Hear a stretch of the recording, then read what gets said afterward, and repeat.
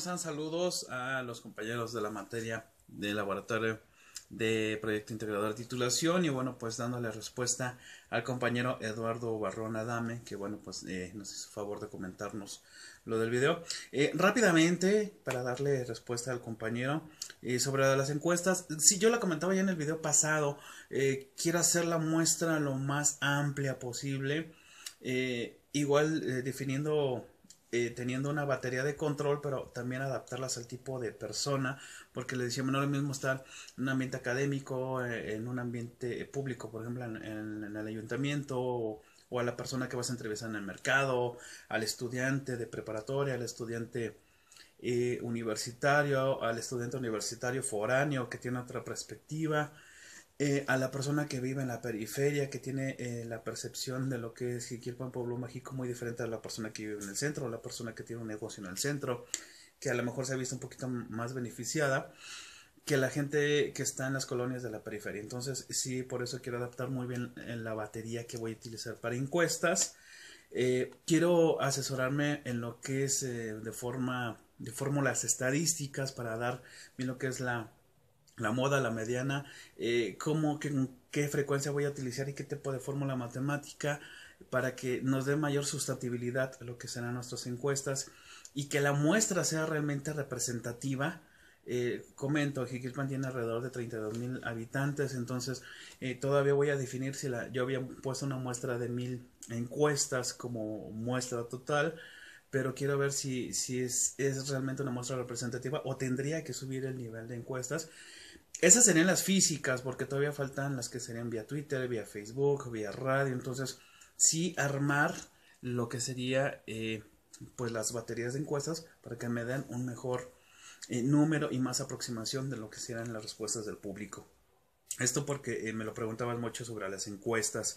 Eh, realmente sí, bueno, pues ver lo de los beneficios económicos que se ha dado tanto por el ayuntamiento, para algunas personas que tienen negocios, pero cómo lo ve también la gente de la periferia, cómo la ve gente de los... Eh, de las comunidades que vienen mucho aquí al municipio, especialmente los lunes, a hacer sus compras, ha visto mejoras, ¿no? En la infraestructura, al turista, entonces eh, todo eso es lo que queremos saber y como ya lo habíamos comentado que es una información pues eh, cualitativa, queremos ver la forma de convertirla en datos cuantitativos, en datos un poco más abstractos que nos puedan eh, servir.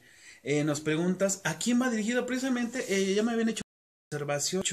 Eh, la maestra Blanca Brambila en semestre pasado ya me había hecho la observación eh, y otros asesores y asesoras que no podía ser juez y parte. Entonces, básicamente el trabajo es para dejarlo de forma eh, delegado académico, de, consulta, de que alguien más si quiera tener datos de Jiquilpan o hacer una investigación de Jiquilpan, bueno, de ahí tengo, tenga lo relativo en este momento que se está haciendo, porque sabemos que es como una fotografía, ¿no? Te, da los resultados de lo que piensa la gente en este momento. Entonces, este, eh, que cuando vayas a ver el documento digas, bueno, la gente en el 2016, 2017 Jiquilpan tenía esta percepción en ese momento de estos aspectos de lo que es Jiquilpan Pueblo Mágico. Básicamente, pues sería un documento de tipo académico, de tipo consulta eh, para la sociedad en general, pero pues más en específico para eh, los estudiantes de nivel medio, medio superior o de posgrado. Eh, porque bueno, pues ya después, eh, ya librando esto, quisiéramos ahondar más ya en la maestría sobre este, eh, sobre este tema y por qué no, pensar hasta en un doctorado o algo así.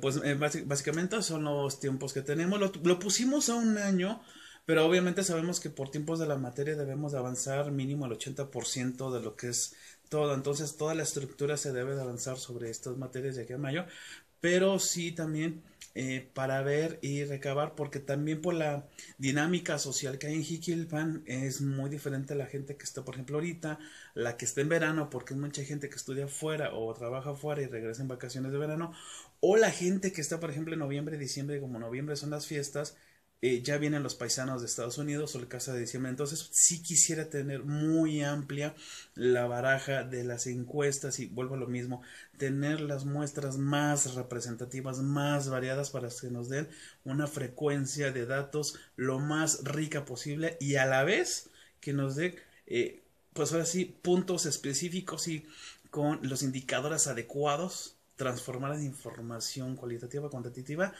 y que nos dé, que nos dé esos pequeños eh, diferencias que tiene de pensar cada persona sobre este aspecto. Obviamente nos vamos a, ir a redes sociales. Eh, sabemos que por la dinámica de México es eh, más eh, fiable lo que es Facebook, los, las Twitter, pero bueno, como le acabamos de comentar a la compañera Verónica, Nieva, nos vamos a enfocar también en tratar de hacer líneas de tiempo con herramientas de TikTok, DPT, Timeline, Timeline Night, usar en tecnología micrositios como ReadyMag, eh, no sé, algunas presentaciones en, en lo que es hacer eh, gestor también de HotSuite. Y bueno, tratar de hacer infografías también para apoyarlos, que bueno, ya algunos nos vamos a enfocar a eso. Y muy buena tu propuesta, gracias también de, eh, pues ahora sí de apoyarnos de, chavos de servicio social, de prácticas profesionales, porque sí es mucho trabajo de campo, entonces este va a haber la necesidad de hacer eso. Eh, yo más que nada me estoy enfocando en lo que es ahorita en mis espacios de, de medios de comunicación y de redes sociales que en la zona estábamos bien posicionados pero se va a necesitar mucho trabajo de campo. Y aparte estoy a la espera también de las observaciones que me haga el comité de titulación porque todavía estamos en espera de las adecuaciones que me hagan y obviamente también de nuestro asesor en la materia. Entonces todavía hay mucho trabajo por delante. Eh, bibliografía bueno eh, ahorita de momento estamos utilizando la bibliografía que nos han dado a lo largo de la carrera así como lo que son las páginas oficiales de la Secretaría de Turismo Federal de la Secretaría de Turismo Estatal la dinámica de pueblos mágicos, estamos checando otras páginas de otros pueblos mágicos ya más avanzados. El caso, por ejemplo, aquí más muy cercano a Jiquilpan es Mazamitla, en el estado de Jalisco.